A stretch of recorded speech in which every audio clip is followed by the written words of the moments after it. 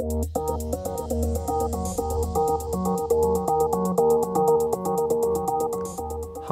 I'm Danny Beaumont from Brainstorm Digital, and I'm going to show you how to get the most out of Pinterest.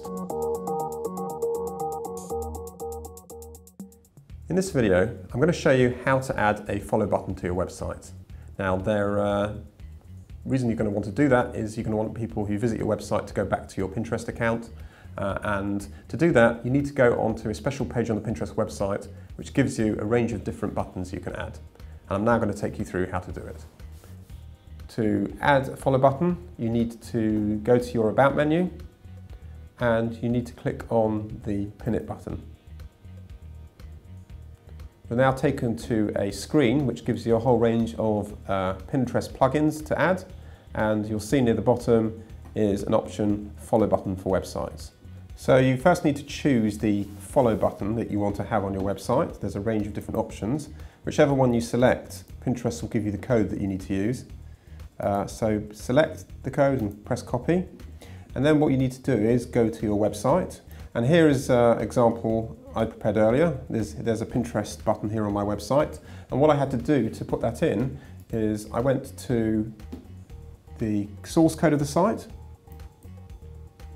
And what I did is I selected where on the web page I wanted that button to be.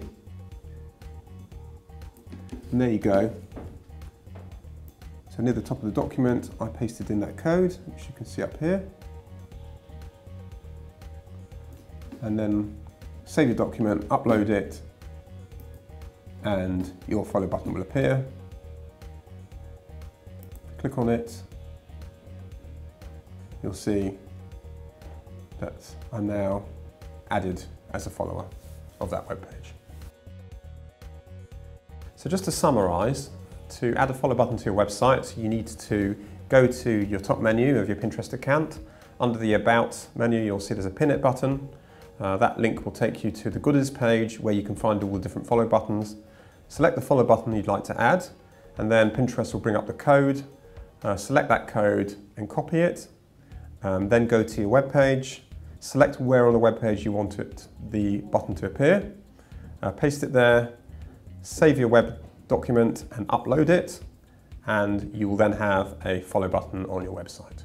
And that's how to add the follow button to your website.